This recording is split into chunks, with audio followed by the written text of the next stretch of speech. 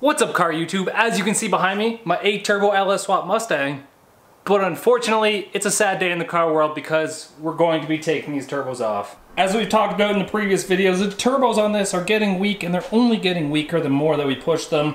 They just weren't built to run 35 pounds of boost like we intended them to. So these things are gonna come off. However, I'm not done with this 8 turbo thing. Just wait until next winter when we have six months of winter again. But fortunately for us, it's spring now. And that means let's do some serious racing. I want to race this thing, but with the turbos the way they are, it just doesn't make sense. And it doesn't make sense to buy replacement turbos only for those ones to blow too. So I have a new idea that we're gonna do next winter. And I know this car brought a lot of you guys here, but the OGs will know that I, I love racing and I love my single turbo setup and I love going fast. So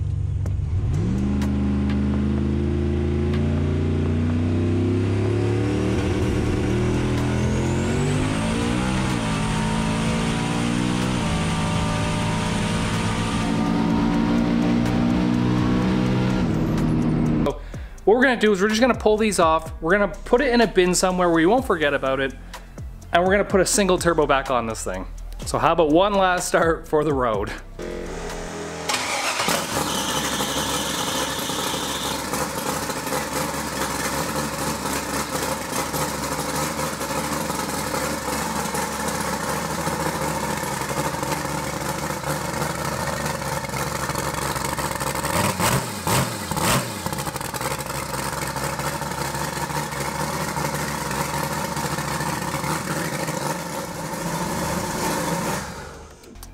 And that's it. I bid you farewell, 8 Turbos. It's time for you to come off, and it's time to build something serious again.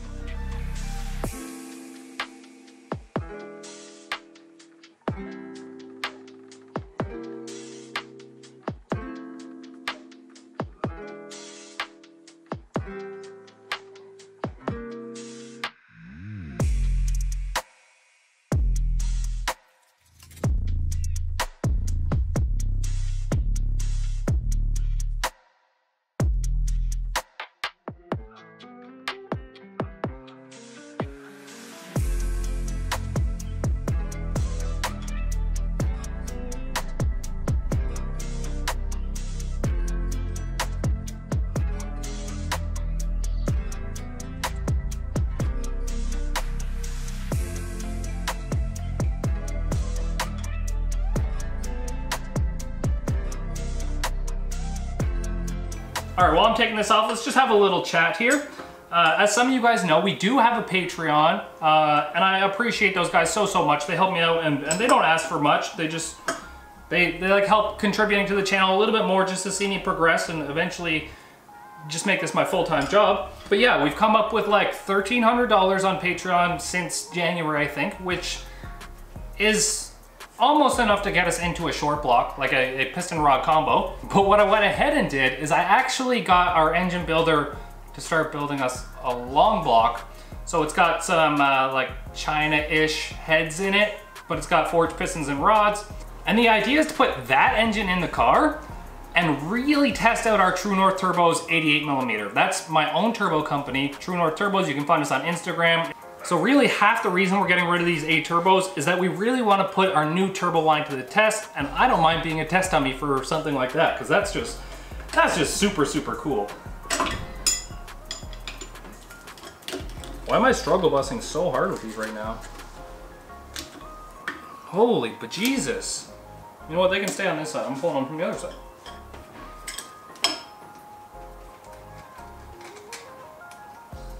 Oil everywhere! So yeah, just pulling the oil out of the rails here, uh, and then those rails can come off with the oil lines and come out. This tank can come out, both turbo manifolds can come off, and then it's gonna start looking like an engine again.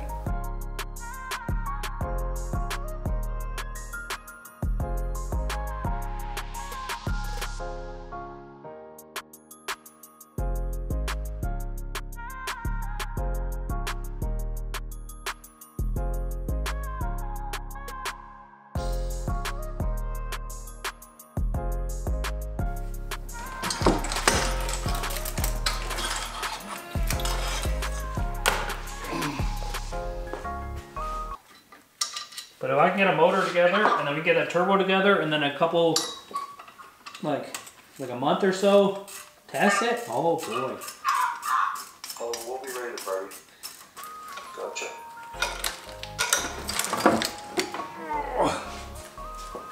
There we go, two sets of turbos up. All right, boys, a turbo kit for sale right here. 20 bucks your best offer. Bolt right on, whole kit, right here, boom. I'll even give you those pipes. It's starting to look way better again. I, I built this car and it was so clean the last setup that we had on here and then the 8 turbos just made it look so dumb. And I'm so excited to just make it look clean and awesome again. And here you get a better look at our oiling system. The feed actually came in here, went through the two rails, fed through all eight of these ports, came out the backside of the rails into this fuel regulator where we could adjust it down like 20 pounds and then back into this tank right here. And then the tank went to the pump, the pump to the cooler, the cooler. You get the gist of it.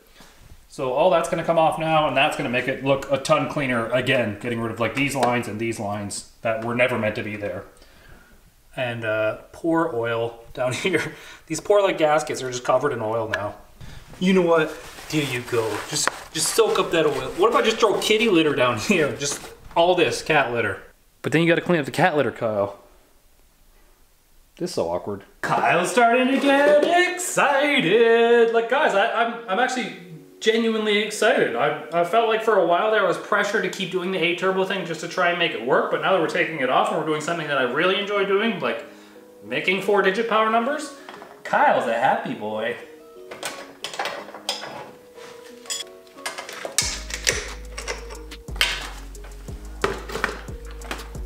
Oh my god, those are on there tight. I think Dan put these on. Dan, it's all your fault!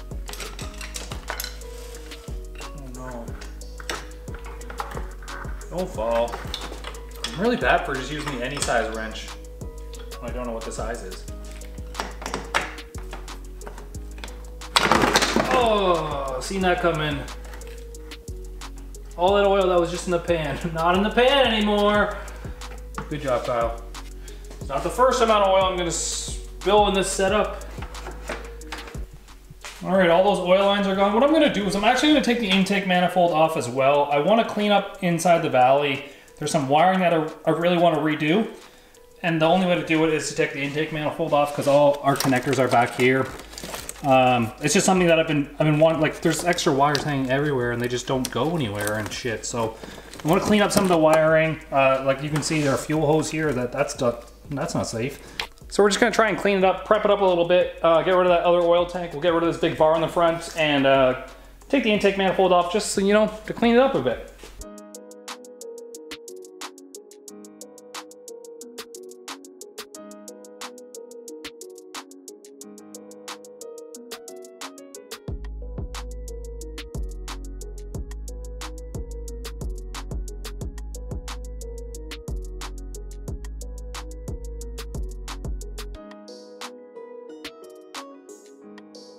You know what? There's something sentimental about this engine to me. It's just, it's been through so much. It's the first one that I ever built, probably like two and a half years on the channel. It, it was the first thing that kind of kickstarted the channel because people watched it just to see what I was doing. They were like, you, you're an idiot. You don't even know what you're doing.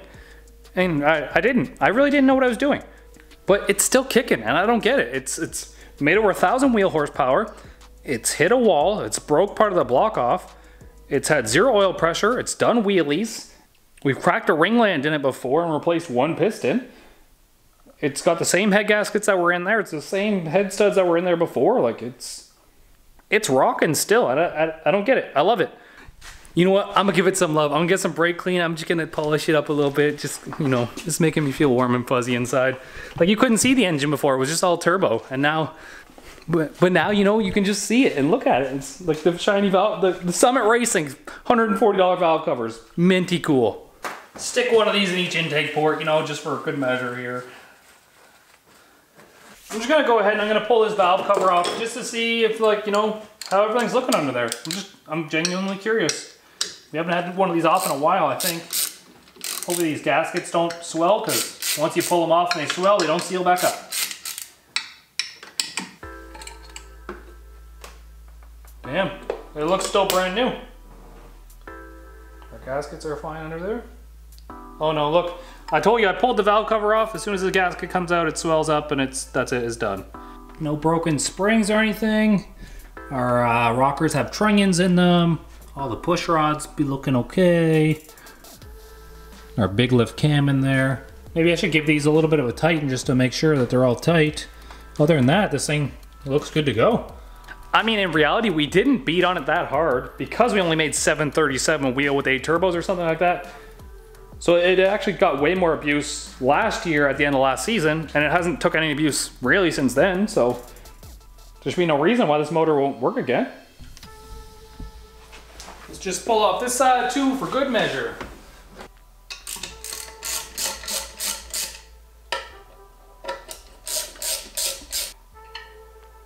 Yeah, this one actually had a different gasket in it because this one was leaking at one point. You know what? Everything would be looking clean under there too. I like it. So, like I said, turbo kit for sale, 20 bucks. Gets you uh, the eight turbos, intercooler, all the piping, or best offer. I mean, I can't can't really expect 20 bucks out of this thing. Next up is the oil tank, which means I gotta get underneath here and drain the oil tank.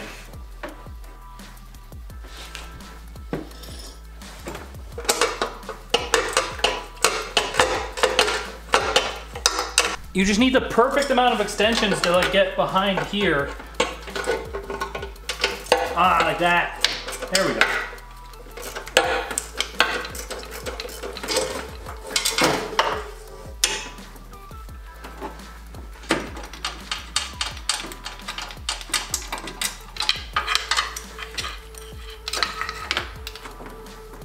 So I went ahead and I put the valve covers back on this thing. Now, in that box right there is everything to put a single turbo kit back on in less than one day. I would just need the turbo again and I would need to build a bar like this one to hold the turbo, like to brace it up. I wanted to build another turbo kit just um, so I could use a V-band back housing on the turbo. And then I also wanted to be able to do dual bullhorns instead of just one single exhaust out this side. The problem with that being that there's already like this big five inch cutout or six inch cutout or whatever the size that is on this side. So it would look kind of dumb maybe if we did dual like bullhorns out the side.